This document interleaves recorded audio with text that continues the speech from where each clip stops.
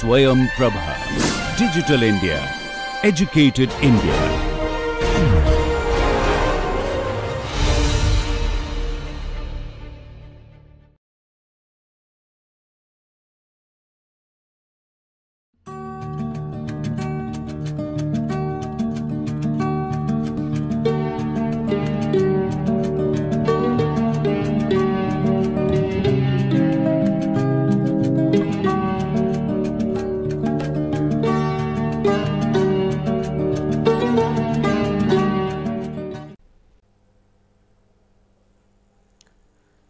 Lecture, we will continue our discussion on elliptic partial differential equations. In the previous lecture, we had tried to solve this problem of a square domain in which we had imposed four Dirichlet boundary conditions on the four sides of the domain and then we had taken a 4 by 4 mesh including the boundary grid points and then tried to discretize Laplace equation and solve it. So, just for recollection we will try to remember what are the boundary values we had put on the left end we had put a value of 100 degree centigrade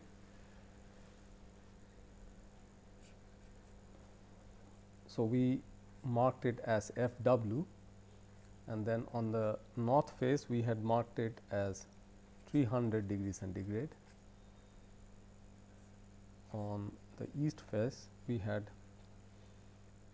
put 400 degree centigrade and on the south face it was 0 degree centigrade. And if you recall we had calculated an initial or guess value of 200 degree centigrade in the internal grid points. So, since we marked this corner grid point as 1 1, therefore, these interior grid points were marked as 2 2, 3 2, 2 3 and 3 3 respectively. And then we iteratively solved Laplace equation, but fortunately the solutions converge very rapidly and in the second iteration itself we found that we were getting the same values as in the first iteration that means the solution had already converged. And then we had briefly assessed what could be the measures for convergence. So, either you base it on the difference in the functional values at each and every internal grid point where you are updating the values through an iterative approach or you try to take a global measure by computing the RMS error in convergence. Now, we recall that we had taken a 4 by 4 mesh including the boundary grid points. Now, of course, you can go about refining the mesh and then you will get much more detailed variation of the function as it matches up with these boundary conditions, which can be seen in a more refined mesh of 50 by 50 size. And therefore, you can actually figure out that the discrete jumps which occur on a coarser mesh are much reduced on a finer mesh. One issue which still remains is that at the corner points what are the values of the temperatures we should be setting. Though in the computational stencil that will not have any influence, there should be some reasonable ways by which you estimate those values at the corners, because for example, at this corner which we can call as the northeast corner for example, because it is sharing part of the northern face and the eastern face of the of the boundary. You could estimate it by taking an arithmetic average of the values that you have set at the four boundaries. So, let us say you can set a condition of 350 degree centigrade at this corner point and that is precisely what has been done here. Similarly, you can go about doing it at the other corner points. So, that they are having an intermediate value between the sharing side temperatures. Again going back to finer mesh, you could refine the mesh further and make it say 100 and 100 by 100 mesh and then you have a still further increase in the resolution. So, this is what we call as resolution that means you are getting or capturing the finer details of the functional variation in the domain as you put in more and more grid points. That is usually how it works. And then ideally, if your discretization is an accurate discretization and with a fairly good uh, uh, order of accuracy, then as you put in more and more grid points, you are essentially approaching the analytical solution. So, if you refine it further and further, you will get finer details, especially where uh, the changes are rapid. So, when you have changes in temperature at the boundaries, there would be regions, especially at the corners, where the changes could be rapid, and then a fine mesh should be able to capture it better. So, there is one part coming from the resolution aspect. The other part is that how much computing time would it involve. So, for looking at that you try to figure out that how many iterations are uh, taken in order to reach the converged solution. So, we have the issue of convergence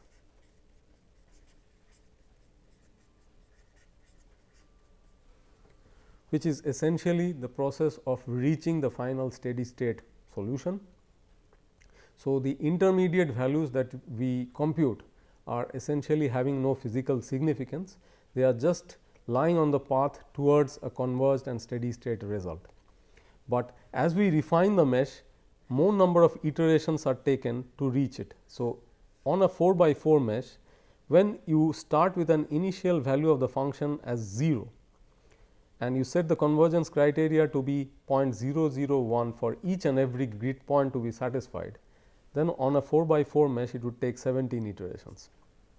Again on a 50 by 50 mesh it will take 3161 and 100 by 100 mesh more than 10,000 iterations to compute. Last time incidentally we had made an intelligent guess about the initial value we had taken an average of the boundary temperatures and set it as 200 degrees centigrade. Incidentally, we just took one iteration to complete. On a 50 by 50 mesh, it would take 1291 iterations to converge and on a 100 by 100 mesh, it would take 4161 iterations to converge. So, there are a number of things that we can easily understand. One is that in general, a more refined mesh will involve more number of iterations till you reach the steady state. The initial guess value would have an impact on how many iterations are actually needed before you reach a steady state solution. And then the other thing is that how stiff is your convergence criterion. So, let us say if you had relaxed this criterion and made it lower, let us say you made it 0.01, all these computations would take much less number of iterations. Of course, you cannot go any lower than 1, but for the other cases it would take much less number of iterations in general. So, the convergence criterion, the initial guess and the grid size. So, these are the three things which have influenced the solution in a big way. And again remember that when we reach convergence, there is a certain path that the solution is actually taking which can probably be monitored better if you look at how the solution uh, tends to behave at each and every grid point. So, if you look at a specific grid point let us say this grid point and then you try to monitor how the solution looks like, then you will see that initially the value of the function may be following a path like this and then oscillating about a certain value till it converges at large times towards a steady state value. So, that could be the way convergence is achieved. So, the convergence may take place through little bit of an oscillatory behavior till it actually steadies out. There could be other ways or other paths also through which convergence may be achieved, the, but the final intention is to reach and ensure that convergence is reached. So, to sum up some of the learnings that we had through this activity. We will try to uh, recapitulate the main points once more.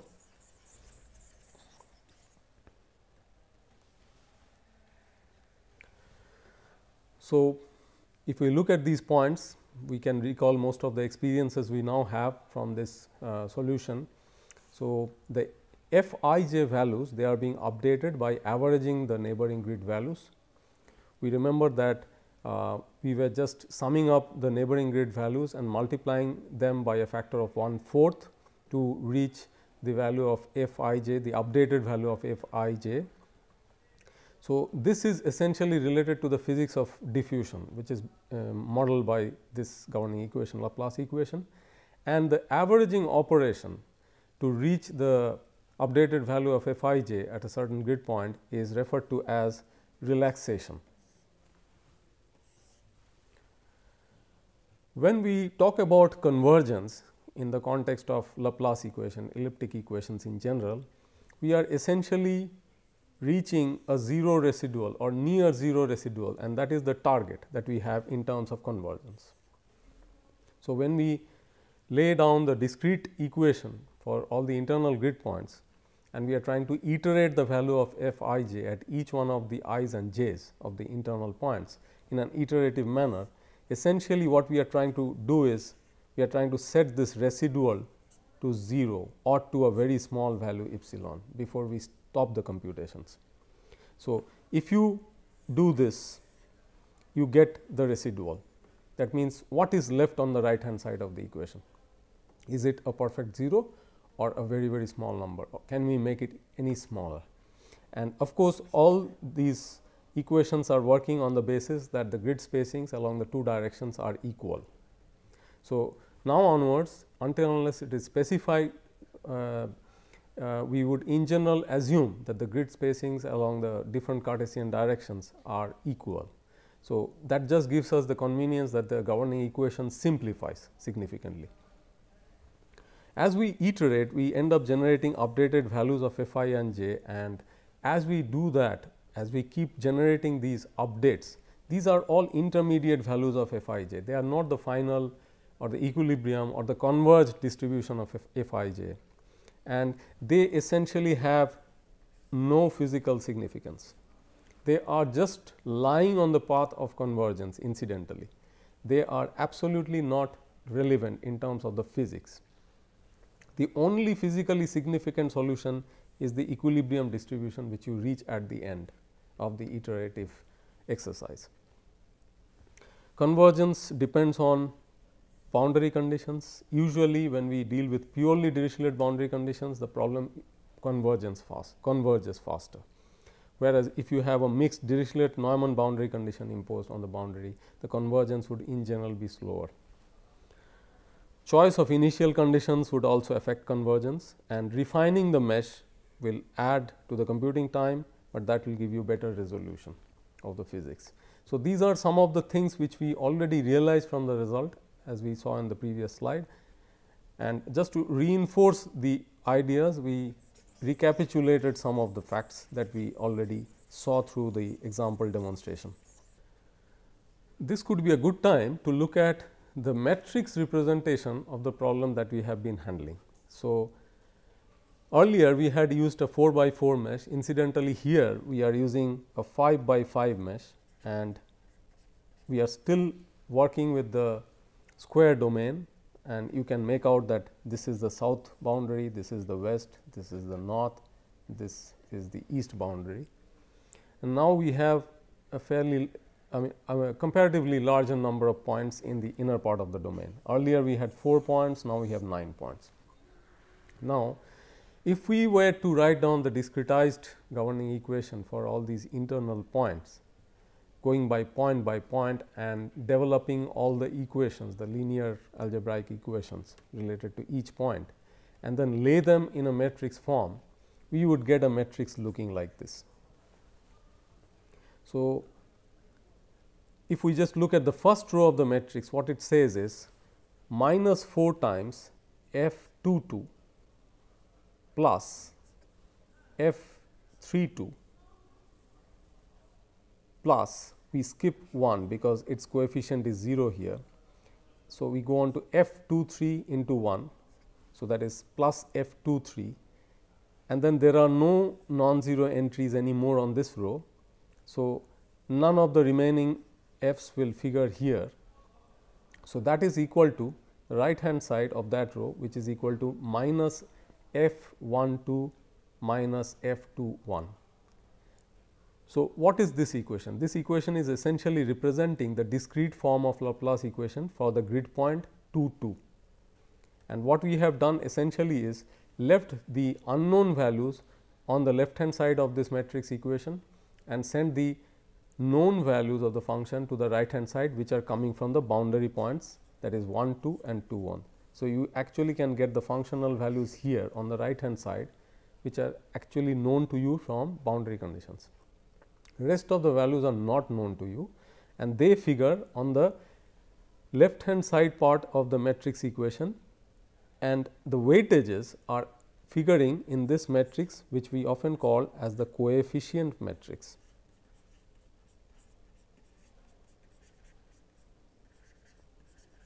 So, since we have 9 points, 9 inner points considered here, we have a 9 by 9 matrix, 9 rows and 9 columns here.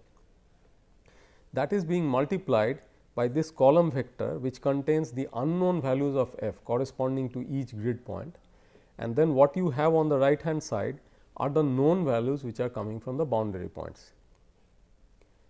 This is somewhat similar to what we saw when we were discussing about compact schemes earlier. However, here we have a little more complicated structure of the coefficient matrix in the sense that here if you notice carefully the leading diagonal of this matrix has an entry of minus 4 all through. And then there are two adjoining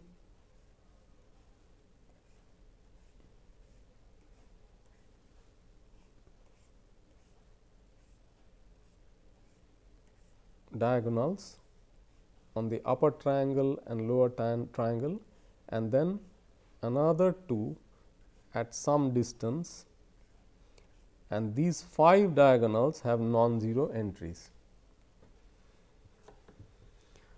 That is what gives you a pentadiagonal system of equations here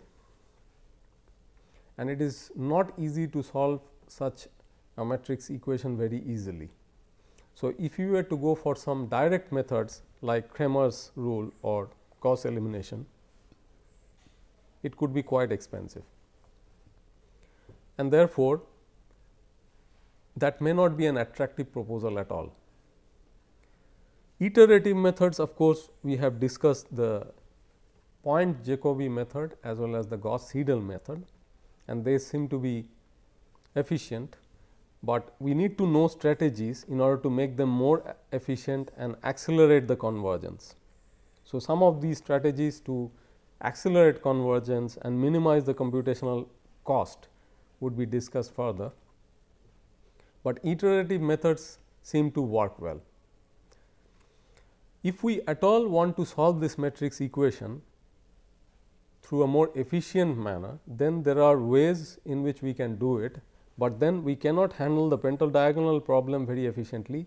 So, can we represent this problem as an equivalent problem involving tridiagonal system of equations, because we have discussed earlier that there is a tridiagonal matrix algorithm which is efficient and therefore, the computing costs could be much lower and therefore, that could be an attractive strategy to solve the problem by solving a system of linear algebraic equations. If you were to write down the same matrix equation, but this time you were looking at Poisson equation instead of Laplace equation, we had written down the Poisson form in this way with a source term on the right hand side.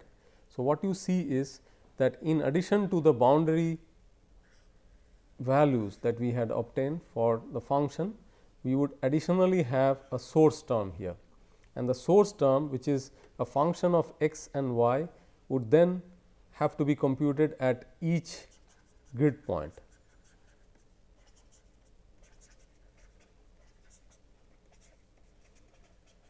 and added on to the right hand side.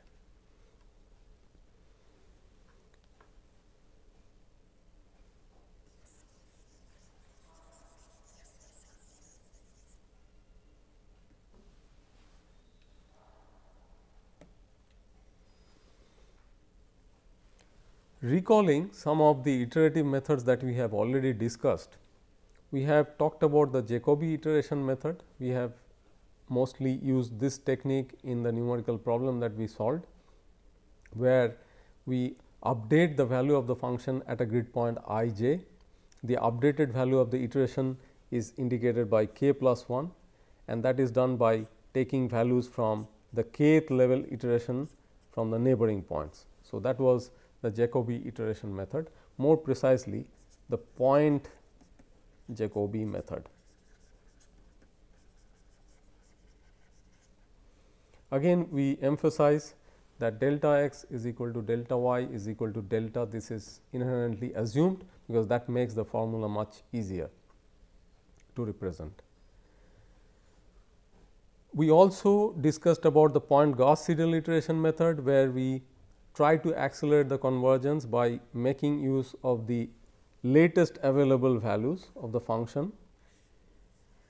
So, by the time we reach the grid point i j, we should have swept past the, these grid points i minus 1 j or i j minus 1 and therefore, we would be having the updated values already available at those grid points and then using them on the right hand side of the equation would actually accelerate the convergence significantly.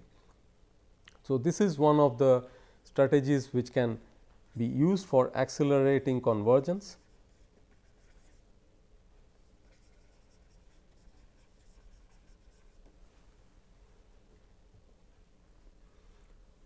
And this convergence rate increase could be quite significant over the Jacobi method or the point Jacobi method. Now, as we apply these schemes, we have to of course, ensure something that the convergence is actually achieved. That means, you are going to move towards a certain value of the function at each and every inner grid point asymptotically and you are not going to keep on oscillating perpetually or not ultimately reaching a steady state solution at all. So, what assures convergence? This is a very important issue which is essentially ensured by the nature of the coefficient matrix that we had looked at a few minutes back. So, when you look at the coefficient matrix entries, you have to notice something that is if the largest elements in a given row are located uh, sorry. So, the first point is if the largest elements are located in the main diagonal of the coefficient matrix and additionally at least for one row you are ensuring that the diagonal the main diagonal coefficient value is greater than the sum of all the magnitudes of the remaining elements in the same row, then convergence will be achieved. So, if we look back at the first if we look back at the first row of the coefficient matrix that will probably give us a better idea. So, we will try to look back at the coefficient matrix once more just to make sure that we are able to get the numbers properly. So, we remember that the first row elements where in the diagonal we had a minus 4 and then the remaining non-zero entries were one over here another over here. So, if you look at the remaining locations the remaining rows at all the rows the main diagonal element remains as minus 4 and in every other row if you notice if you go to the second row you have a 1 here you have a 1 here and most other rows have that. The only exception is this row where you have some additional ones. Well, there could be more over here for example. So, you have 3 ones over here and a minus 4 here. So, it varies between 2 ones in the first row and that also is seen in the last row apart from the main diagonal, diagonal entry and then in the second row for example, you have 3 ones, in this row you have 4 ones. So, they vary a little bit from row to row. Now, the point is we are just trying to figure out that whether we are able to satisfy the convergence criteria which is stated over here. So, if you look at this what it tries to say is that the main diagonal element the modulus of that is it greater than equal to the sum of the other entries in the same row that is what it tries to say. So, in the first row for example, you would actually do a calculation like this. So, what you have in the main diagonal is mod of minus 4 and that is actually happening to be greater than equal to the remaining. So, there were two ones. So, you are ensuring that 4 is greater than 2 here in this case and there was a middle row where there were 4 ones in the non diagonal elements. So, in that case it will exactly equal the diagonal element and therefore, in most of the rows you are able to ensure this greater than condition, while in one of the middle rows you are able to get the equal to condition. That means, you are able to satisfy this condition. And then what it says is that at least in one of the rows the diagonal element the mod of the diagonal element should exceed the sum of the non diagonal elements. Diagonal in the sense main diagonal and that is of course achieved say in the first row, the last row and many other intermediate rows where you have 3 ones and a minus 4 in the main diagonal. That means, you have several such rows where you have even satisfied this condition. So, in general this method of convergence will work that means, with the coefficient matrix that you have for this problem that will be suitable in converging the solution. So, we have just cross checked that whether the coefficient matrix entries will ensure convergence or not. We will discuss about more schemes to solve elliptic equations in later lectures. Thank you.